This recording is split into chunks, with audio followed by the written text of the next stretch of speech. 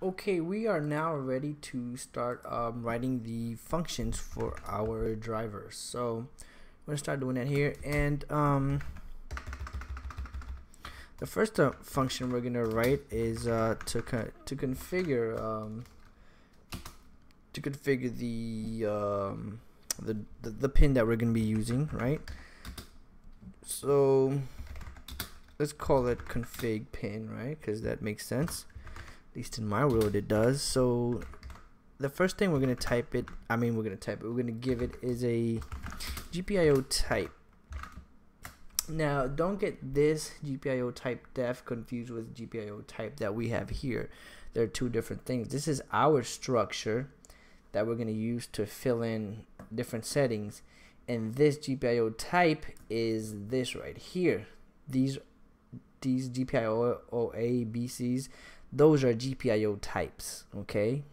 Um, and you can right click on that and you'll see it defined as itself um, a register with all the registers of the um, actual GPIO peripheral okay? So that's two different things and it's called port um, well you can call it whatever you want but I've called it port but you have to dereference it okay? You have to type the little uh, asterisk sign here to dereference it um. Okay. So so we're gonna we're gonna we're gonna first pass it um the port. What port is the pin that we're configuring, right? Um. Obviously, the next time we're, gonna pass it is the pin number.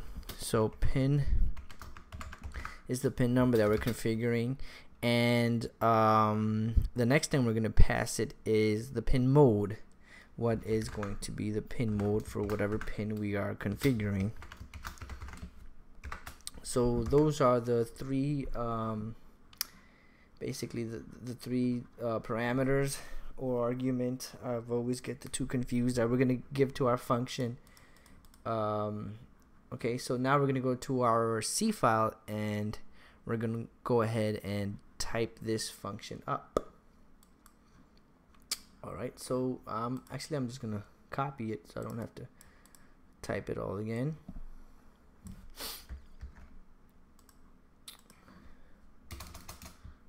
okay so starting our function right there right?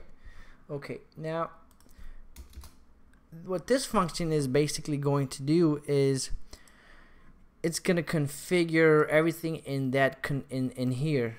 We're going to configure this right here.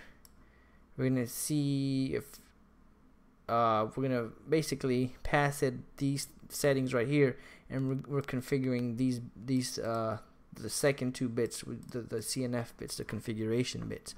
Now remember, we have a high register and a low register. So how do I know which register we're going to configure?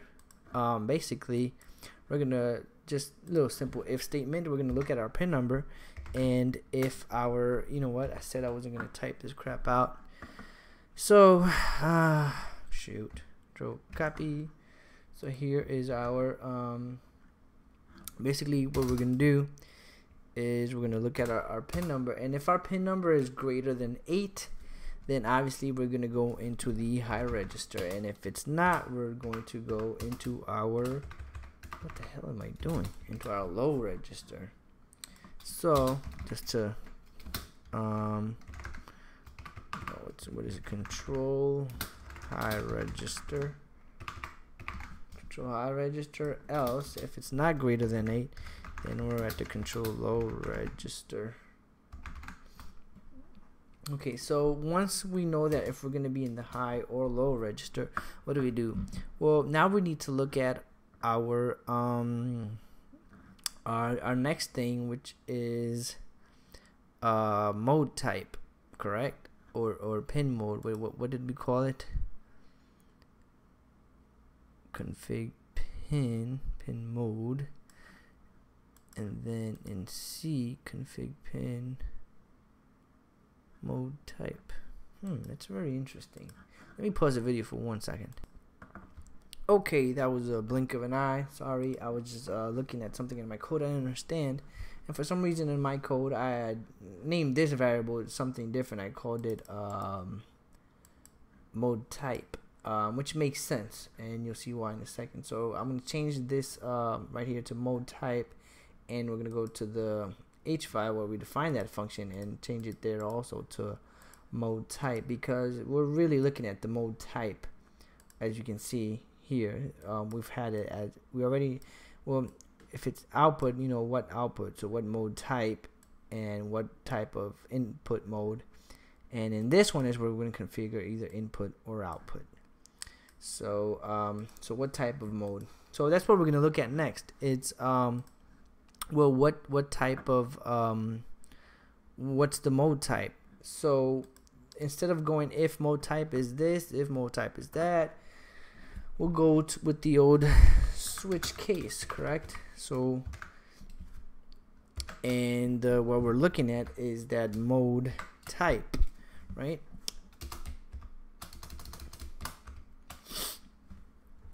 um,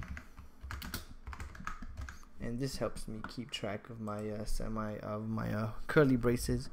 Now I'm gonna go ahead and copy and paste this and I'm gonna break it down to you. Or break it down for you.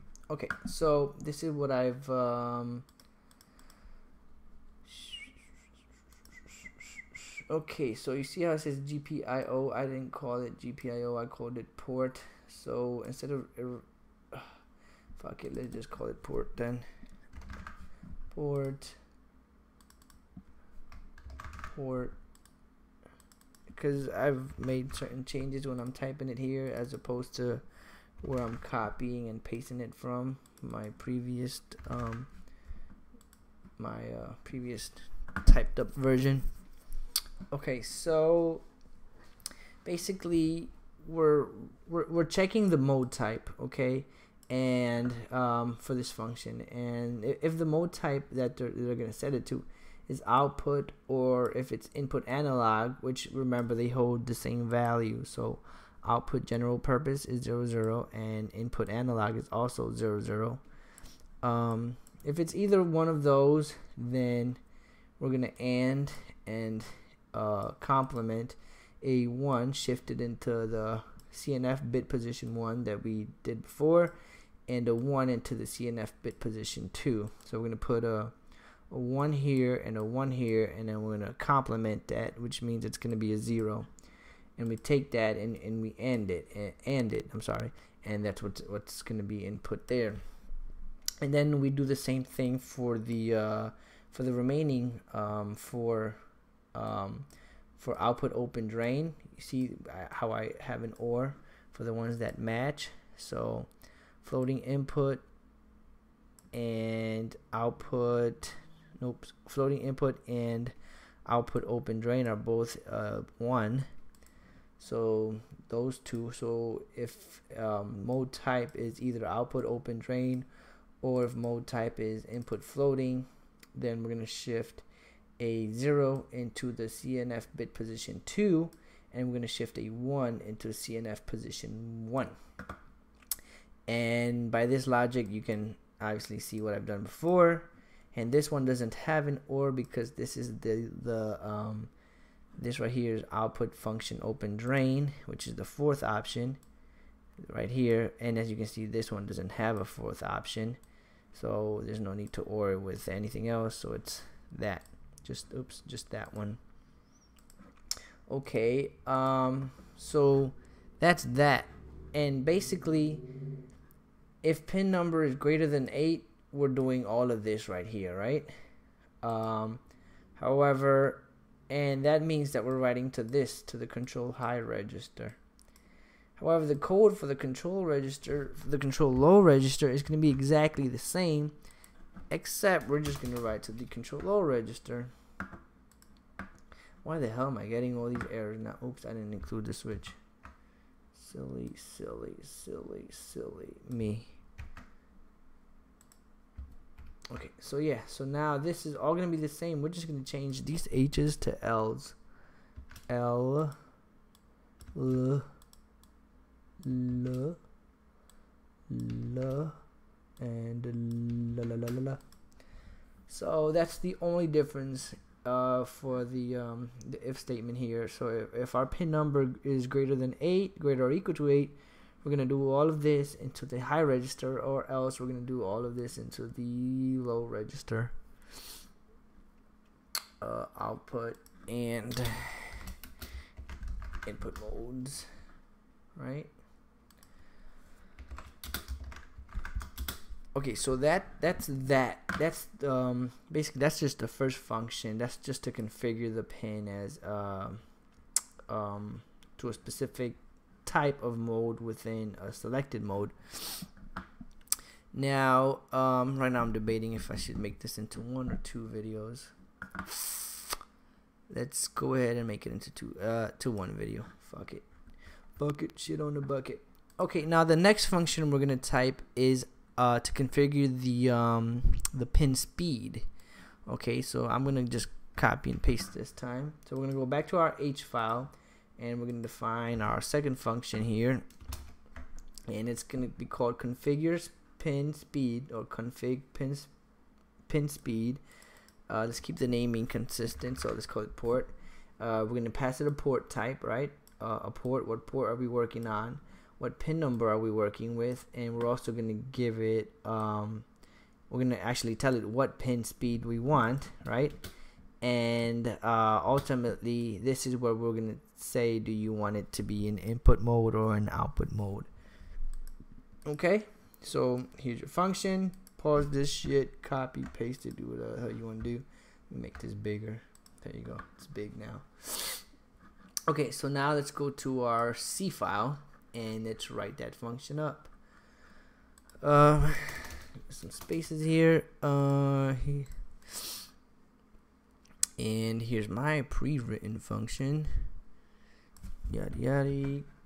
Copy, paste. Voila. Now let's see what it does.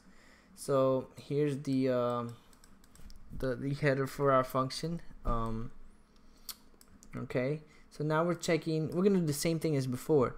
If pin is, is number greater than eight, then we're gonna go to the high register. If it's not, then we're gonna go to the low register. And again, the code is identical except for the H's and the L's. Okay, now um, this one I coded GPIO, but let's go to now we gotta change all this crap to port port uh port oh shoot port oops port uh port and port okay now let's see what this does so now we're checking after we check what pin number we're in whatever we're checking um our mode so if the mode if they put input mode right? And you see how I've typed in input mode because we have this defined in our H file. So we can just right click, uh, go to definition. What is input mode? We have it set to, to the number two. And remember I told you it doesn't matter what we set these numbers to because we're just going to put run them through an if statement as long as they're different. So it doesn't even matter what the number is. We're just checking that if mode is equal to input mode, that means if they passed it this argument, when they called the function right here, then do this. We're going to go to our port to the control high register and this right here tells me we're going to put a 0 everywhere there's a 1. So we're going to put a 1 into the um, pin position, pin number, and pin number corresponds with whatever pin number they're putting here. So they put in pin 13, we're going to put a 1, or since it's being complemented here, a 0 into that the pin position for that pin number. Okay? Because remember we made that array where the pin positions elements in that array equal the first bit position of these this mode register. Okay? So now we're filling in this mode register. Not register freaking those little two mode bits. Okay? So we're putting uh so if they have input mode we're putting a 0 and a 0 into that pin position, the first pin position, and then we're adding a 1 uh, in this one, in this shift, because we're going to put a, uh, a, a 0 here, then we add 1 to get to the next position, and then we put a 0 here. So we're putting 0, 0 if they're if they select input mode, which is right here, 0, 0. Correct? Correct, Eddie. Okay. Now, else, that means if they didn't select input mode, that means they selected one of the other modes, which were these right here. Um, right here. Oh, you know what? Instead of putting a 1, No, I had to put a one actually. Yeah, I'm sorry. See, that's why this was redundant. I mean, we didn't even have to do this crap. We can just delete it because you can't really shift a, a one and a zero into something. So and and I can't put a one and complement it because this is already defined as one. Um, so now this are the other options they could give us. So, um, so if they don't choose input mode, then go back to that control high register. This time, um, put this number pin speed, and pin speed is right here. And again, when they call this function, they're gonna type in this. They're gonna type in this or this or this, which is equivalent to these numbers. So let's say three. So then we're gonna shift uh, a three, let's say, um, to whatever pin position uh, that is. Okay, so I hope that makes sense. And um, and this is identical, but except it's in the control low register. So that configures our uh, our pin, and I hope I can I, I made that make sense because I know it, it can be confusing, and I'm not exactly a teacher, so and you can raise your hands to ask questions, but you can leave comments and email me whatever you have to do, and um, I will get back to you really promptly because I get these things on my phone. So, and this is not a you know million user blog, so I don't get ten thousand emails. I don't get any emails, but whatever. So what I'm saying is you can email me if this doesn't make sense or if I need to clarify something. Okay. Um, so that's that. Okay. We have the function to configure our pin, the function to configure the speed, and the basically the mode for our pin. Let's build this and hope we don't get no damn errors. Two warnings. Something was declared and not defined. Some other crap was declared but not never referenced. That's fine because we haven't used any of the functions yet. Okay, um, now in the next video, I'm going to try to limit these to 20 minutes. In the next video, we're going to write the functions, and that one's going to be quick. They're like two or three lines. Let me look at them right now. Yeah, those that's going to be like a 10 minute video probably. Um, that um, video, we're going to write the functions that we actually get to use in our main to do all of this stuff. Like GPI, like write, like, you know, digital write this or whatever if you're coming from, from Arduino world, you know what I mean.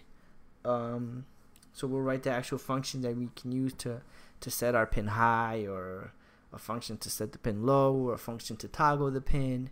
You know, so these will be the actual user functions. Okay? Alrighty then, see you then.